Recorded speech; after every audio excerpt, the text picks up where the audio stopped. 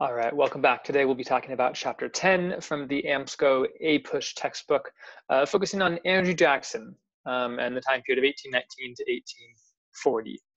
Um, like we've done before, I will be taking um, some notes as we go. I've already kind of got it set up, talking about new forms of democracy, and then some key terms. The election of 1824 with the corrupt bargain, the tariff of abominations, which leads to the nullification crisis, 1832, uh, some key terms from Andrew Jackson, and then a new uh, uh, political party system, the Democrats versus the Whigs. Um, it's up to you which one you want to do first. If you want to uh, uh, watch this video or read the chapter first, do whatever works best for you. Now, first in terms of, of democracy and what democracy means, or, or rather what, what democracy meant back then. Um, we know that there were different political parties in the early America, uh, George Washington, when he left in his farewell address, uh, he warned against political parties. He warned against division. Um, but right after George Washington stepped down, America was split into two political parties the Federalists, which favored a strong central government, Hamilton, Adams, and the Democratic Republicans, which focused more on states' rights, a weaker central government. Um, by 1820 or so, uh, the definition of what it means to be a Democrat is beginning to change. The old definition, this is sometimes called Jeffersonian democracy because Thomas Jefferson was kind of the, the, the molder of, of this political party. Uh, Jeffersonian democracy or Democratic Republicans um, believe that we should have a, a, a, weakened central government. We should limit the power of the federal government. Um, and what's most important is individuals' rights and also states' rights. So Thomas Jefferson, uh, uh, Democratic Republicans, or Jeffersonian democracy, all about um, limiting the central government to protect states' rights. But Thomas Jefferson also believed um, that not every single individual should have the right to vote. Uh, he believed it was a civic duty for citizens to vote, but only property owners should vote. Um, this was a way for him to protect the, the power and the interests of the more wealthy. It says down here towards the bottom uh, Thomas Jefferson believed that all men had the right to be informed, but leaders had to be highly educated. And so Thomas Jefferson, Jeffersonian democracy, or the Democratic Republicans, they believed that only property owners and really only educated white wealthy men should have the vote. Again, most likely to protect his self interests. By 1820, with the emergence of Andrew Jackson, comes a new definition of democracy, democracy sometimes called Jacksonian democracy or the new Democrat uh, Democratic Party. And what we see, the, the biggest difference that we see is we see the expanded suffrage. The vote is expanding. Now, uh, uh, property ownership is not a requirement to vote. And so essentially, most states allow all white men with or without property to vote. This changes things quite a bit because now uh, democracy is expected to serve all of the people. Well, sorry, all of the white people, or sorry, all of the white men, because uh, it's not just property owners who have the vote. Um, Andrew Jackson was uh, all about, well, so he claimed being a man of the people, serving the people, a president for the masses. So he believed that all white men have the ability to lead regardless of, of how much education they received. Um, and then there's some other key terms I'll talk about in a second there. So Jacksonian democracy, this is the idea that we should limit uh, federal government power. So we should have strong states' rights and individual rights. But then he also believed that uh, only white property owners should vote. Jacksonian democracy, on the other hand, uh, we have expanded suffrage, basically all white men could vote. And so he believed, or, or rather, an effect of this belief is, is uh, the American government begins to serve the masses.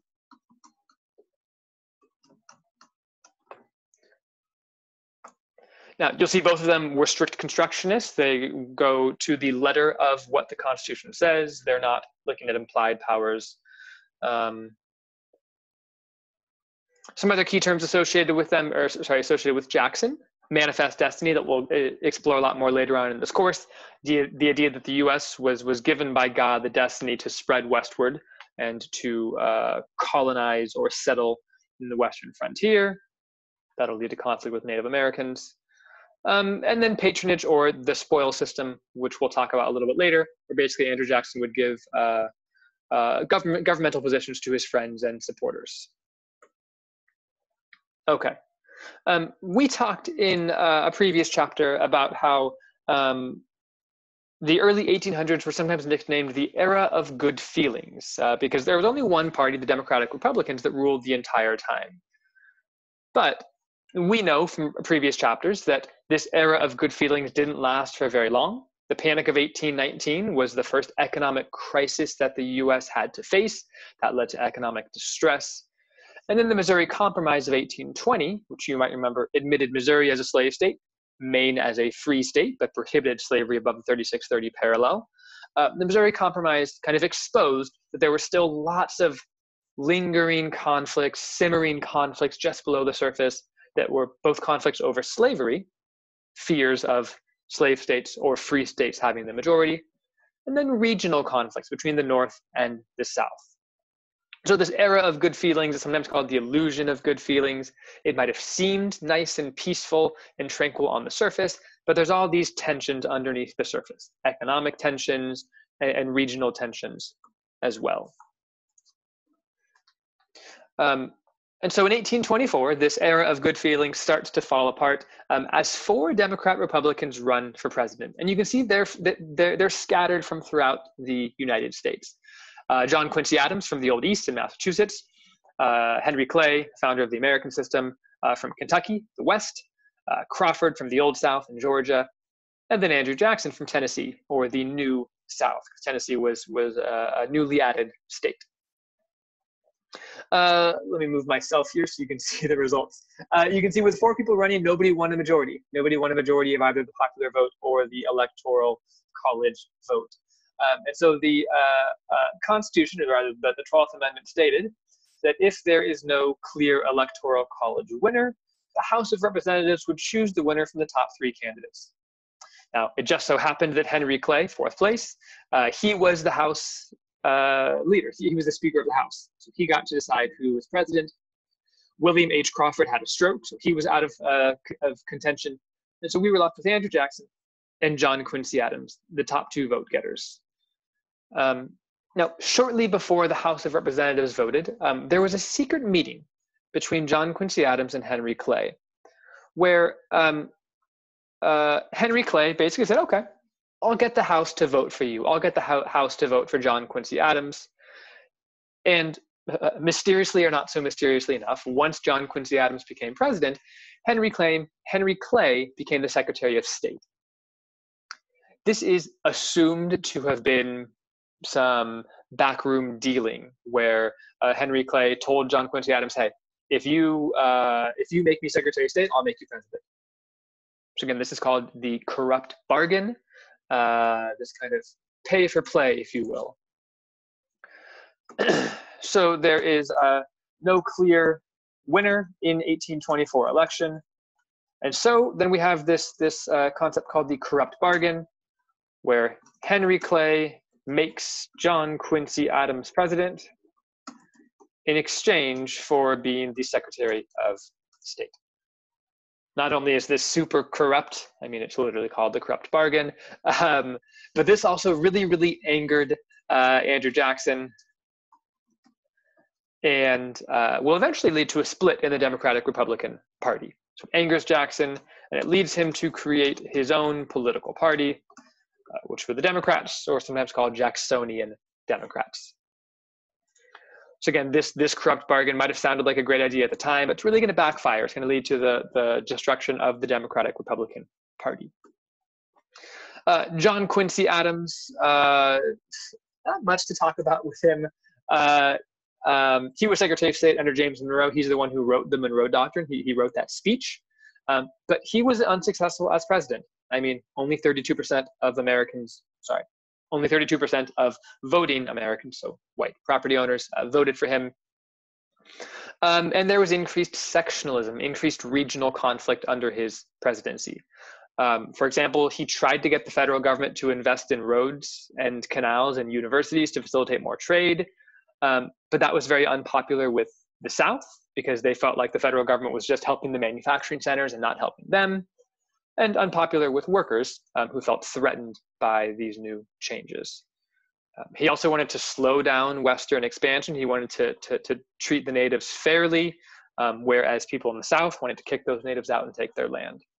Um, so lots of tensions uh, between John Quincy Adams and the South, especially, who was upset with him uh, from the South point of view of him being a little bit too easy um, on the natives, uh, which, which affected the South kind of harshly in their opinion.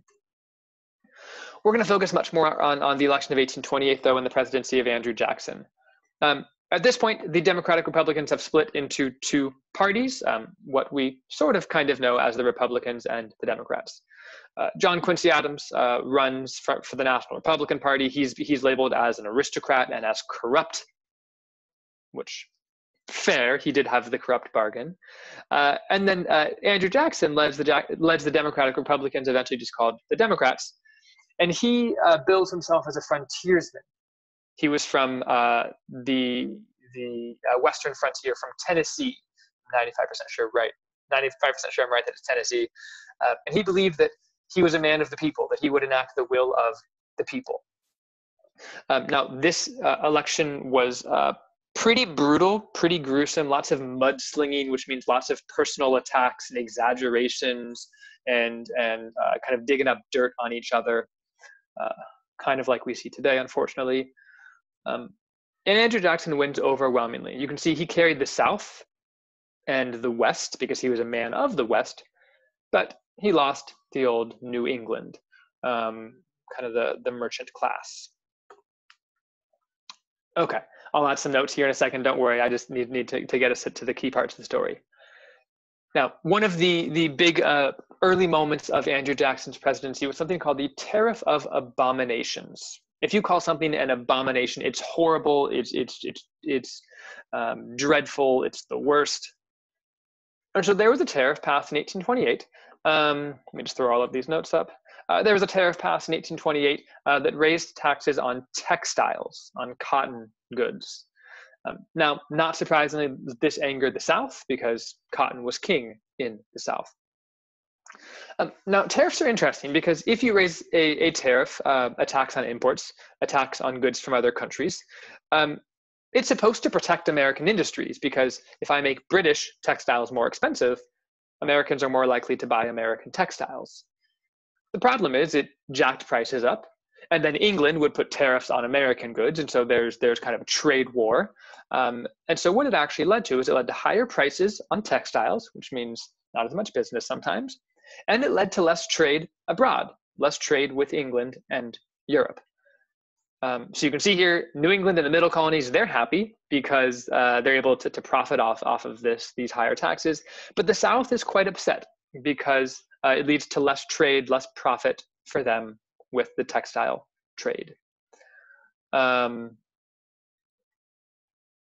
and so as the US continues to grow, as uh, westward expansion continues, as the South uh, kind of struggles to keep up, the North, we're going to learn, is going to be industrializing, while the South is not.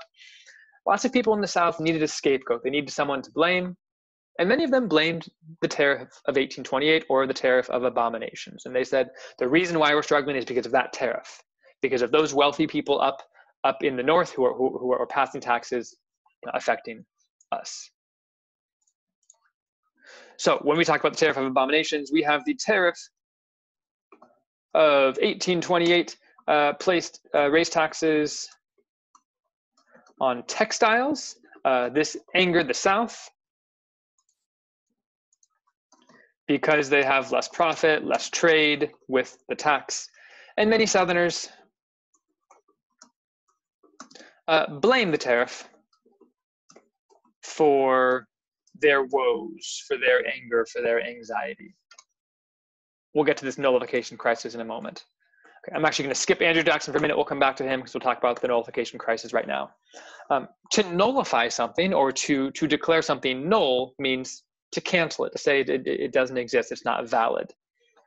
And so South Carolina, southern state, South Carolina said the tariff of 1828 or the tariff of abominations is unconstitutional, goes against the Constitution. And he encouraged, or sorry, not he, South Carolina encouraged other states to nullify or to cancel the tariff, which would mean the tariff wouldn't apply down there.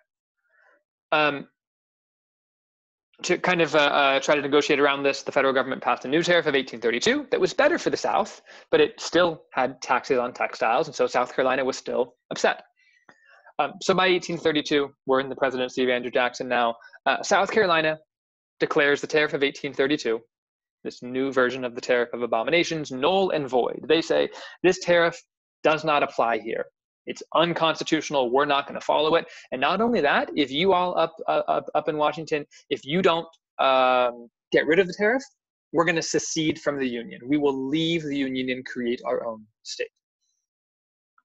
This is called the nullification crisis. South Carolina threatened to leave the Union, to secede from the Union, to leave the United States if this tariff was not removed.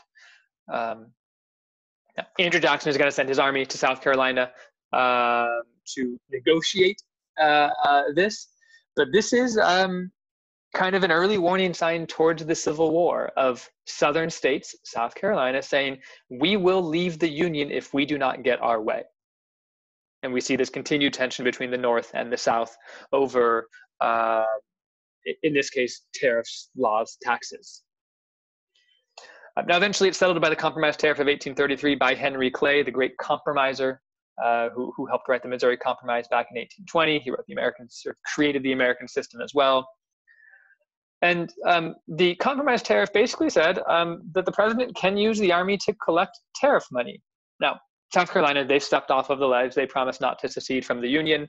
Um, but the tariff of 1828, tariff of abominations, and the nullification crisis kind of exposed that these regional conflicts between North and South, South still remained and are frankly kind of more intense than ever. So uh, let's see, in 1832, sorry, nullification crisis of 1832 uh, is when South Carolina threatens to secede from the Union if the tariff is not repealed. And they declare the tariff null and void or unconstitutional. Again, this doesn't lead to any massive uh, uh, military conflicts at the time, but it kind of exposes the regional conflicts between North and South. That is really a running theme of, of the first half of this course.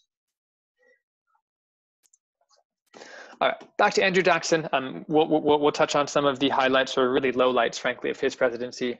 Uh, you'll see 1829 to 1837. He's the first president from the West, first president from one of the new Western states of Tennessee. And he was really seen as the people's champion. He, he represented the masses. Um, and he won, frankly, because of the expanded white male suffrage, because most states did not require property ownership as, as, a, as a requirement to vote. Um, there was a story, and I, I, didn't look it up, so I don't have all the details. But there was a a, a day that Andrew Jackson had uh, once a year where he would uh, invite commoners into the White House, and he would have like hors d'oeuvres and snacks. I think he would have a big block of cheese in the middle of the White House, um, and everyday commoners, peasants, working class could come to the White House. Maybe not to talk to him necessarily, but to talk to one of his his his uh, uh officials or representatives. And so Andrew Jackson really built himself as the people's champion, as the president for the masses, not just for the wealthy. And, or, but, he also uh, uh, created a system called the spoils system. You might have heard the phrase to the victor go the spoils. Andrew Jackson won, and so he rewarded his supporters, he rewarded his loyal supporters with political offices, with positions and titles. Now, the idea to uh, quote uh, Donald Trump, was to drain the swamp, to get all of the old ideas out and get some new, fresh ideas in. But what the spoils system led to is it led to basically um, all that matters is are you loyal to the president? Are you loyal to Andrew Jackson? If you are, you'll get a nice, cushy, fancy, well paying job. But loyalty wasn't to the Constitution anymore. Loyalty wasn't necessarily even to the people, it was to the president.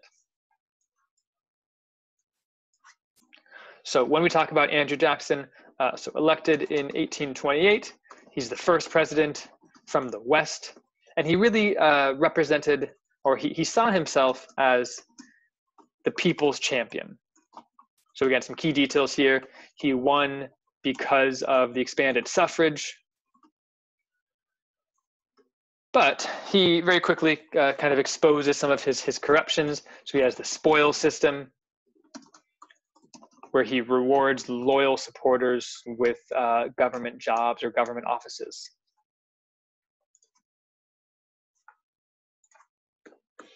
Some of the other challenges of Andrew Jackson's presidency, obviously the, the nullification crisis, even though he represented the people, even though he, he, he won the Southern vote, quite a few conflicts with the South. Andrew Jackson is probably most, most famous or really most infamous for his conflict with Native Americans. Um, now, when George Washington was president and in his farewell address, George Washington set the precedent um, that we should deal with natives by signing formal treaties to acquire land. George Washington saw the natives as foreign nations, basically. And with any foreign nation, there are formal processes to go through, formal treaties and diplomats uh, to negotiate. The problem in Andrew Jackson's mind, however, though, is that the Americans were continuing to push west. After the Louisiana Purchase, after they gained all that land, the Americans are pushing west. He believed it was America's manifest destiny to push west. As they pushed west, they took more and more land, and they felt like the, the natives were simply standing in their way, I suppose. Um, there were, in the eyes of, of Andrew Jackson or in the eyes of Americans, there were five civilized tribes, if you will. Uh, there were the Cherokees, the Creeks, the Choctaws, the Chickasaws, and the Seminoles. Um, and in 1828, Georgia declared the Cherokee Nation illegal, and they took their land. Now, this went straight to the Supreme Court, Georgia versus the Cherokee Nation. Um, and the Supreme Court actually said, you know what? The Native Americans, Cherokee Nation, they're actually right. They have a right to this land, and Georgia is not allowed to take their land. Now, in the eyes of Andrew Jackson, remember, Andrew Jackson is, is a Westerner. He's a frontiersman. He's living on the, the Western frontier. He wants this land. And so Andrew Jackson says, okay, Supreme Court, uh, you've made your decision. Now enforce it. Literally says, John Marshall has made his decision. Now let him enforce it. And Andrew Jackson basically ignored the Supreme Court decision and, he said, and said, you know what? Unless you're going to send troops to force me to uh, uh, respect their land, I'm going to take their land. And so this leads to um, two of the, uh, well, there's a lot of very dark moments in American history, but two of the darkest moments uh, the Indian Removal Act and then the Trail of Tears. The Indian Re- Removal Act of 1830, just one year into Jackson's presidency, uh, forcibly removed 100,000 Native Americans west of the Mississippi uh, to quote unquote Indian territory that would be quote unquote permanently theirs. Now, we can obviously um, guess that it's not going to be permanently Native American land as America continues to push west. The natives will just be pushed further and further off of their land into what we have today, them basically forced onto very small reservations. The Trail of Tears is the name for the basically forced death march, really, that these natives were forced upon uh, from their uh, um, historic homes the Seminoles in Florida, the Cherokees in Georgia, the Choctaws, Chickasaws, kind of in Mississippi, Alabama, um, and others, forced to march across the Old South to these new Indian reservations. So I'm going to kind of label this as, as conflict with natives uh, in general. First, we have the Georgia versus Cherokee Nation. Um, where Andrew Jackson basically ignores the Supreme Court and forces the Cherokee Nation or Cherokee tribe, whoops, off of their land in Georgia. And then the, the more infamous um, terms, the Indian Removal Act of 1830, is when Jackson forcibly removes natives from their land. And then the Trail of Tears is their their death march basically to their reservations. When we're talking about key terms to be familiar with, the Indian Removal Act, absolutely the Trail of Tears, absolutely the spoil system. There's a lot in here that, that are pretty important. So I'll highlight some of those. Okay, approaching the end here. Um, Andrew Jackson was also against the National Bank. Um, remember, he's he's generally about about states' rights and a weakened central government. Although what he's doing is really a strong central government. Uh, so Andrew Jackson vetoes an attempt to create a new Bank of the United States in 1832. Um, in Andrew Jackson's eyes, the Bank of the US had become too powerful. It had become almost like a fourth branch of government president, Congress, Supreme Court, and in his eyes, the bank. And in Andrew Jackson's eyes, the um, Bank of the United States catered only to the wealthy, not to the people. Remember, he bills himself as a man of the people, the people's champion. Not only that, but the, the, the Bank of the US had forced a lot of Western farms to close because these farms couldn't get enough credit, couldn't get uh, a loan, or the interest rates were too high. And so um, Andrew Jackson uh, vetoed the Bank of the United States, canceled the Bank of the US because he felt like it only catered to um, the wealthy, not to the people. um, now, this is important for two reasons. First, for the president, it's important because he is expanding his power, he's flexing his muscles. By Jackson using the veto, basically canceling out the vote of Congress, that expands the power of the president. The problem, though, is with no bank. Remember, the bank provided uh, economic stability. It provided it, it prevented massive inflation. It uh, provided loans. It maintained a healthy, stable economy. With no bank, there's going to be another panic, another economic crisis, right when he leaves office in 1837. So let me throw this in real quick. Uh, so he vetoes, whoops, I don't want that in bold. Vetoes the Bank of the US. Uh, the veto uh, um, expands the president's power, but it also leads to an economic crisis in 1837 uh, without a bank.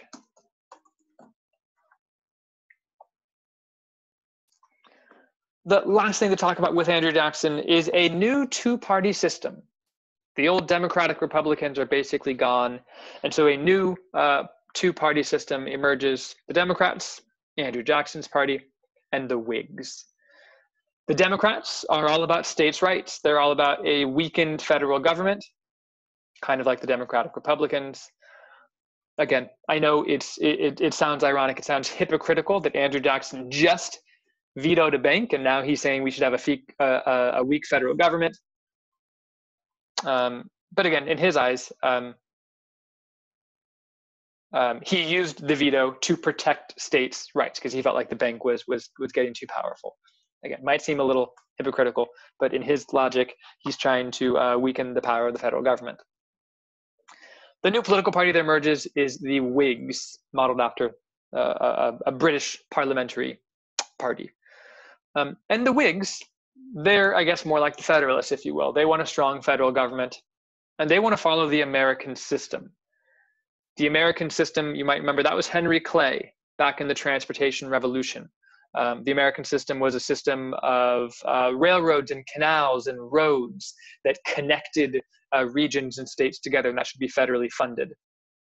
Uh, they also wanted a strong federal bank, a strong national bank of the US to provide loans and currency and, and, and maintain a stable economy. And they also wanted protective tariffs to protect domestic industries. All of this, again, is a strong federal government. Um, they also wanted some moral reforms, which we'll talk about when we get to chapter 11 next week, uh, including uh, beginning to argue for prohibition, getting rid of alcohol, and the abolition of slavery. Uh, you can probably guess if you were to predict where the Whigs were most popular, you'd probably guess the North because not as much slavery up there. So no slavery up there. Um, so, so, they'd be against uh, slavery, and the North would benefit from all of these these transportation networks because it would increase trade. So again, this new political party system. Um, we have uh, Jackson's Democrats. That is all about uh, weak federal government, strong states' rights, and then you have the Whigs. Uh, the Whigs want a strong federal government. They wanted an American system. Again, going back to Henry Clay's American system. Uh, that means federally funded roads and canals. They wanted tariffs. They wanted a bank. and they fought for certain reforms. Uh, abolition, prohibition. Prohibition again is, is going against alcohol, trying to ban alcohol. Uh, abolition is getting rid of slavery. And so as we review here, you can pause this to uh, jot down your notes if you need to. Oh, I don't need to be that big. Um, we see a new uh, version of, of uh, democracy with Andrew Jackson as the vote is expanded, as all white men get the vote. Um, American democracy begins to change. Now, we have the corrupt bargain where John Quincy Adams becomes president for four years, but that angers Jackson. That leads to the collapse of the Democratic Republican Party, and Andrew Jackson takes over. He sees himself as the people's champion, um, but really, I mean, the spoil system benefits himself using the veto uh, to get rid of the Bank of the US. That benefits himself. He also felt like he represented um, uh, Westerners, frontiersmen, kicking the natives off of their land to take it for um, uh, himself or, or, or for, for, for natives. Uh, sorry, for Westerners, my bad. Um, but again, we, we continue to see these, these regional conflicts, especially with the nullification crisis, conflicts between the North and the South. Um, and frankly, even with the, the, the, new political party, the Democrats versus the Whigs, we're seeing those regional conflicts continuing um, that will eventually lead to civil war in about 30 or so years.